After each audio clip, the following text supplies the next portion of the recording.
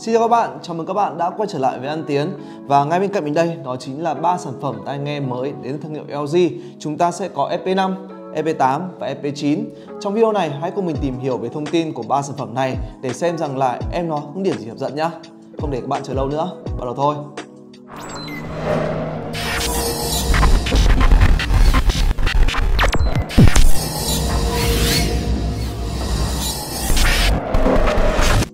Bắt đầu video ấy thì mình sẽ nói là tại sao mình sẽ tổng hợp thông tin của ba sản phẩm ở trong video này luôn. Tại vì là về phần thiết kế của tai nghe của ba sản phẩm này ấy, thì gần như là tương đồng nhau từ phần thiết kế này cũng như là driver bên trong. Cái điểm khác nhau ở đây đó chính là chỉ về tính năng mà thôi. Chính vì vậy mình sẽ tóm tắt hết tất cả ở trong video ngày hôm nay. Bây giờ thì chúng ta sẽ cùng điểm qua về những điểm khác nhau nhé. Đầu tiên đó chính là về pin.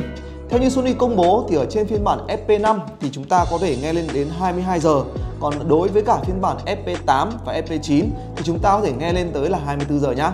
Như vậy thì ở trên phiên bản FP5 này chúng ta sẽ có cục pin nó nhỏ hơn một chút. Cái thứ hai, đó chính là về khả năng sạc không dây. Tính năng sạc không dây này là một tính năng khá là hay và nó chỉ được trang bị ở trên phiên bản FP8 mà thôi. Như vậy có nghĩa là ở trên FP5 và FP9 thì chúng ta sẽ không có tính năng này. Thứ ba, đó chính là tính năng diệt khuẩn theo tia UV nano và cái tính năng này sẽ được trang bị ở trên phiên bản là FP8 và FP9. Theo như Sony công bố là với tính năng này thì chúng ta có thể diệt khuẩn lên đến 99% luôn. Và cuối cùng đó là tính năng phát ra tín hiệu Bluetooth và tính năng này chỉ được trang bị ở trên phiên bản FP9 mà thôi. Đây là một tính năng khá hay, nó sẽ giúp đa dạng hơn về khả năng kết nối giữa chiếc tai nghe này với những thiết bị không được trang bị về Bluetooth. Ví dụ như là trên PC này hoặc là trên TV chẳng hạn, nếu các bạn không được trang bị Bluetooth thì chúng ta có thể sử dụng cái phần cây sạc này như là bộ truyền phát tín hiệu luôn, một cái bộ receiver ấy. Rất là hay đúng không? Chúng ta sẽ cùng đi vào phần ngoại hình nhé. Đầu tiên thì chúng ta sẽ cùng nhìn qua về phần cây sạc này. Có thể thấy rằng là phần cây sạc của những sản phẩm này gần như là tương tự nhau. Như các bạn thấy, có một chút điểm khác biệt ở đây đó chính là ở trên phiên bản FP8 và FP9 thì chúng ta sẽ có thêm về đèn LED về UV nano và thôi. Còn đâu thì chúng gần như là tương tự nhau.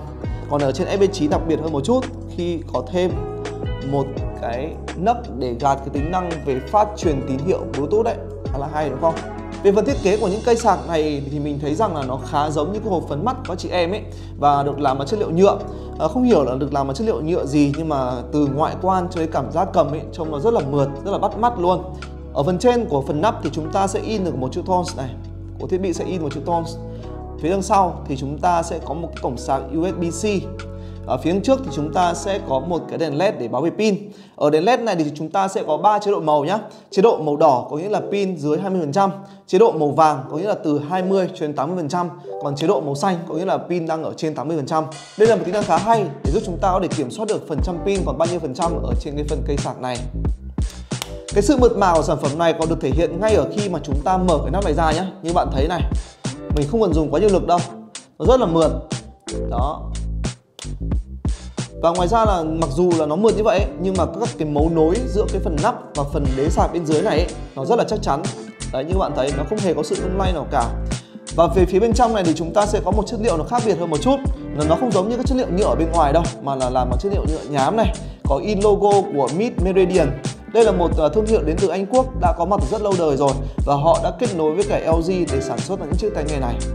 Tiếp theo thì chúng ta sẽ cùng nhìn chi tiết hơn về những chiếc tai nghe này nhé cá nhân mình thấy rằng là cái chiếc tai nghe này nó có một cái thiết kế khá tương đồng và khá giống với cả cái phiên bản đến từ thương hiệu Apple đó chính là AirPods Pro. Với phần chân được cắt ngắn đi so với phiên bản tự nhiệm này phần thân thì phình to ra và cuối cùng đó chính là cái phần lỗ phát âm thanh được cắt ngắn đi rồi.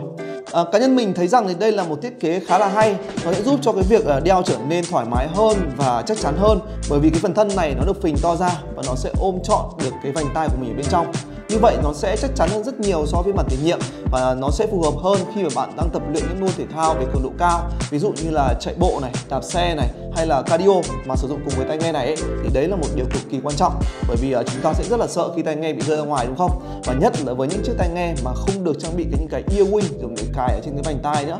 Thì uh, đây là một cái thiết kế khá là hay tiếp đến thứ hai phải kể tới đó chính là cái phần lỗ truyền âm thanh này được cắt ngắn đi thì cái việc uh, lỗ truyền âm thanh này được cắt ngắn đi thì nó sẽ mang lại một cảm giác uh, đeo trở nên thoải mái hơn trong một khoảng thời gian dài.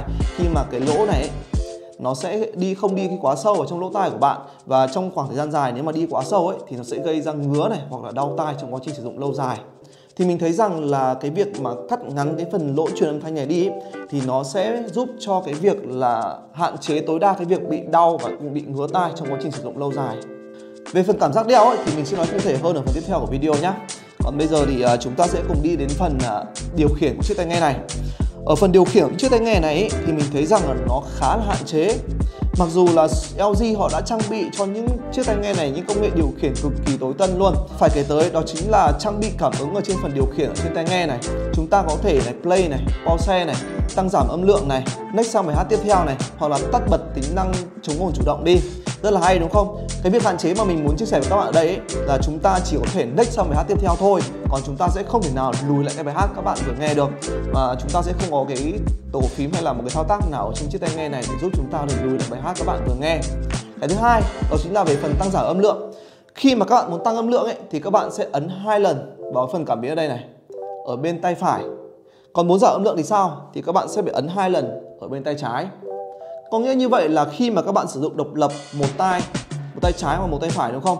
Mình lấy ví dụ nhá. Khi mà mình dùng độc lập ở bên tay phải đi, mà mình muốn tăng âm lượng thì rất là dễ dàng rồi đúng không? Nhưng nếu mà mình muốn giảm âm lượng thì mình sẽ không có một cái thao tác nào để giảm được âm lượng ở bên tay phải cả. Mà mà mình ngược lại ở trên phiên bản tay trái cũng sẽ như thế. Nghĩa là mình có thể giảm được âm lượng nhưng mình sẽ không tăng âm lượng được. Nó sẽ hơi hạn chế khi các bạn muốn sử dụng độc lập và mình hy vọng rằng là Sony có thể cải thiện được tính năng này trong khoảng thời gian tiếp theo. Bởi vì uh, chúng ta nhiều khi là muốn sử dụng độc lập trong quá trình làm việc ấy thì chỉ muốn đeo một tai thôi đúng không? Mà nếu có thể tích hợp tất cả tính năng ở bên một tai là có thể điều khiển được rồi thì rất là hay ở trên những chiếc tai nghe này chúng ta sẽ được trang bị công nghệ Bluetooth 5.2 và với những công nghệ Bluetooth 5.2 này ấy, thì cái quãng kết nối của chúng ta sẽ dài hơn này, độ ổn định sẽ cao hơn. Chúng ta sẽ không có những cái vấn đề về việc là giật hay là bị lag hay là bị trễ tiếng nữa. Thì đây là một cái rất hay. Mà đặc biệt ở đây là chúng ta hoàn toàn có thể sử dụng độc lập, có nghĩa là các bạn có thể sử dụng bên trái hoặc là bên phải luôn. Còn cái tai còn lại thì chúng ta đã để đế sạc chẳng hạn. Đó, rất là tiện. Thứ hai, đó chính là về khả năng kháng nước. Ở trên khả năng kháng nước của chiếc sản phẩm này thì chúng ta sẽ được trang bị khả năng kháng nước là IPX4. Nó cũng tương tự như các chiếc tai nghe khác trên thị trường mà thôi. Có nghĩa là các bạn có thể chịu được mồ hôi này hoặc nước bắn qua này. Còn tuyệt đối là chúng ta sẽ không ngâm nước hoặc là khi các bạn chạy bộ ngoài trời nhá, mà gặp trời mưa lớn thì cũng nên tránh các bạn nhé. Thứ ba, đó chính là về công nghệ sạc không dây. Thì mình đã nói ở phần đầu video rồi, công nghệ sạc không dây chỉ được tích hợp ở trên phiên bản FP8 mà thôi, còn ở hai phiên bản còn lại sẽ không có. Thứ tư đó chính là về tia UV nano để giúp chúng ta có thể diệt vi khuẩn lên đến 99% theo như uh, LG đã công bố. Và tính năng này sẽ được trang bị ở trên phiên bản FP8 và FP9. Có một điều các bạn cần lưu ý ở đây ấy, để kích hoạt cái tính năng này hoạt động ấy thì chúng ta chỉ có thể kích hoạt khi mà cắm nguồn vào trong cái uh, đế sạc này mà thôi. Chứ không phải là các bạn cứ để vào là nó sạc như thế này là nó đã diệt vi khuẩn đâu. Mà chúng ta muốn kích hoạt tính năng đó thì chúng ta sẽ phải cắm dây sạc vào đây này. Còn đặc biệt hơn đó chính là ở trên phiên bản FP8 thì chúng ta có thể kích hoạt bằng cách là cho sạc không dây. Cũng có thể kích hoạt tính năng diệt vi khuẩn bằng tia UV nano này nhá. Và cuối cùng, đó là tính năng phát truyền Bluetooth. Tính năng này chỉ được trang bị ở trên phiên bản FP9 mà thôi. Và đây chính là tính năng mà mình thích nhất ở trên cả ba chiếc tai nghe này đây là một tính năng rất là hữu dụng, mình thấy rằng là nó cực kỳ đa dụng trong cuộc sống luôn, giúp chúng ta có thể đa dạng hơn về khả năng kết nối giữa tai nghe với những thiết bị không có kết nối Bluetooth. Ví dụ như là trên PC hoặc là trên màn hình à, máy bay chẳng hạn, khi các bạn đi à, máy bay ấy thì có một màn hình phía trước, các bạn à, muốn kết nối giữa Bluetooth của tai nghe và cái màn hình đó thì các bạn có thể sử dụng cái cây sạc này để làm bộ chuyển phát ờ, thông tin giữa cái phần màn hình và cái phần tai nghe này. Để giúp cho cái việc là cái phần màn hình ở trên máy bay đó có thể truyền tải được thông tin đến cho tai nghe. Nói một chút về cảm giác đeo nhé như mình đã chia sẻ ở cái phần ờ, thiết kế của sản phẩm về tai nghe thì ờ, mình nói lại một chút. Đó chính là về phần cảm giác đeo của chiếc tai nghe này mình cảm thấy rất là rất là thoải mái và nó có một sự chắc chắn nhất định luôn. Uh, để làm được điều đó thì chắc chắn là về phần thiết kế của chiếc tai nghe này là LG đã làm rất tốt. Khi cái phần thân đã được làm phình to hơn so với phiên bản tiền nhiệm là FN6 ấy, thì nó sẽ ôm hơn ở cái vành tai của mình này. Cái thứ hai là cái phần à, cái lỗ phát truyền âm thanh này, nó được cắt ngắn đi thì nó sẽ không đi quá sâu vào lỗ tai như vậy là trong một khoảng thời gian dài sử dụng ấy, thì mình cũng sẽ không cảm thấy là bị khó chịu hay là bị đau hay là bị nhức tai đâu. Hay thậm chí là bị uh, gọi là ngứa tai đã rất là khó chịu rồi. Và đây chính là một cái điểm cộng cực kỳ lớn về cái thiết kế của Sony. Cái này mình cho Sony một like về cái thiết kế này. Và ngoài ra thì ở trên chiếc tai nghe này mình thấy rằng là thiết kế của nó cũng khá là nhỏ gọn ấy. Nó rất là fit đối với những người có tai đôi tai nó nhỏ nhỏ như mình như này. Thì ờ, mình đeo nó không có cảm giác bị cồng kềnh hay là bị cảm giác bị nặng hay bị kéo tai xuống đâu. Rất là thoải mái đấy và ở điểm này thì mình sẽ cho Sony một like về cái phần thiết kế này. Về phần âm thanh của cả ba sản phẩm này thì mình thấy rằng là chất lượng âm thanh rất là tốt Các giải âm lên xuống đồng đều và nó cho lại một chất lượng âm thanh rất là trong trẻo và chi tiết Đặc biệt là rất là tròn vành rõ chữ. Khi mà chúng ta nghe các bài nhạc về à, có tiếng vocal này Những bản ballad nhẹ nhàng thì rất là phù hợp luôn. Mình đọc được khá nhiều các cái comment và nói rằng là ở trên các sản phẩm này ấy, thì cái giải bay nó hơi bị uh, hiền quá. Nó không tạo cho chúng ta quá nhiều được cái cảm giác gọi là hưng phấn lắm trong quá trình sử dụng đúng không? Khi mà các bạn đang muốn nghe những bài nhạc ví dụ như là EDM hay là những bài nhạc về uh, Vina House hay là Future House ấy cái này phải nói tới đó chính là ngày xưa ấy khi mà LG họ đã kết nối với cả Harman Kardon ấy để mà sản xuất ra những chiếc tai nghe thì thật sự là những cái âm bass những giải trầm của những sản phẩm đó cực kỳ ấn tượng luôn. Bởi vì thiên đường âm thanh của Harman Kardon thì thường họ sẽ thiên về giải trầm nhiều hơn và nó sẽ phù hợp hơn với những bạn trẻ khi mà nghe những bài nhạc về EDM hay là Vina House đúng không? Còn với cả Meridian thì sẽ là một cái chất lượng âm nhạc nó khác hoàn toàn luôn. Nó mang một phong cách rất là châu Âu và nó sẽ mang lại một chất lượng âm thanh nó rất là đồng đều ở mọi cái giải âm thanh Và nó sẽ phù hợp với bạn nào mà không cần cái giải âm nó quá nổi bật ở bất cứ giải âm nào cả và khi kết nối với cả Meridian này thì họ đã tạo ra được một chất lượng âm thanh hoàn toàn khác. Nó mang một thiên hướng châu Âu hơn. Và ngoài ra là chất lượng âm thanh này ấy, thì mình thấy rằng là nó khá đồng đều ở mọi giải Như là từ giải mid này cho đến giải bass này. Nó sẽ phù hợp với những bạn nào mà không cần quá nhiều bass mà muốn nghe một cách thư giãn, một cái chill, à, một cách chill hơn ấy Thì sản phẩm này sẽ phù hợp với những đối tượng khách hàng như vậy. Và ngoài ra thì chúng ta cũng sẽ được trang bị thêm một cái EQ ở trên cái ứng dụng tên là LG Tune. Tại đây thì mình rất thích luôn bởi vì nó cực kỳ chi tiết Có nghĩa là khi các bạn chọn đến bất cứ một cái EQ nào ấy Thì ở phần mềm họ sẽ diễn giải là nó sẽ phù hợp với dòng nhạc nào luôn Thì đây sẽ là một điểm cộng cực kỳ lớn mà mình cực kỳ thích ở trên cái ứng dụng LG Tune đó Tiếp đến phải kể tới đó chính là công nghệ xử lý không gian tai nghe từ hãng âm thanh Meridian Audio nhằm mang lại trải nghiệm âm thanh từ mọi hướng này. Và một nâng cấp nữa là công nghệ âm thanh vòm 3D giúp mở rộng không gian âm thanh thông qua việc phối trộn âm thanh, mang đến âm thanh chân thực và cuốn hút hơn. Và với công nghệ 3D này thì mình thấy rằng là nó sẽ rất là phù hợp đối với những bạn nào mà sử dụng chiếc tai nghe này khi mà chúng ta chơi game này hay là xem phim thì sẽ rất là phù hợp. Và cuối cùng mình muốn đề cập đến đó chính là về microphone.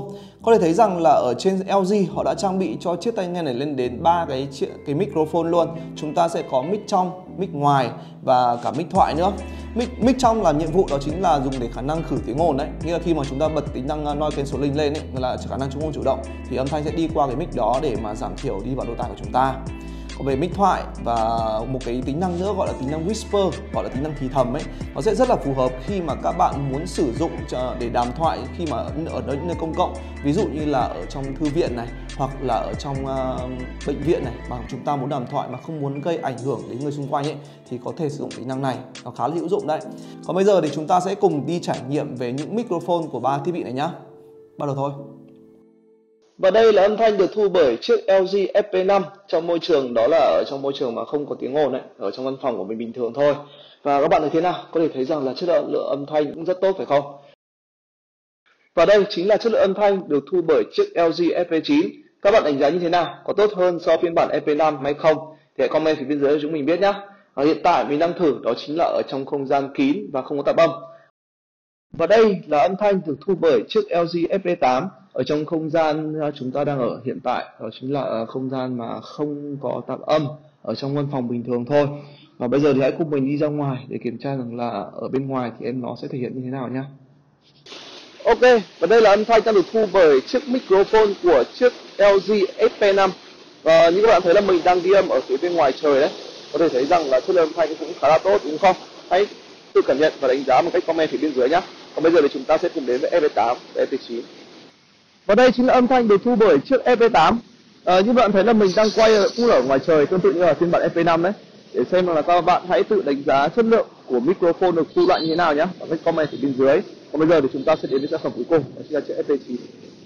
và đây chính là âm thanh mà các bạn đang được nghe đó chính là âm thanh được thu bởi chiếc FP9 à, ở trong không gian ở ngoài trời các bạn hãy tự đánh giá bằng cái comment ở bên dưới nhé để xem rằng là chất lượng âm thanh của sản phẩm này nó có tốt hơn so với FP5 hay FP8 hay không nhé và vừa rồi là một vài thông tin về EP5, EP8 và EP9. Tất cả các sản phẩm này đều đang có sẵn tại các showroom của An Tiến.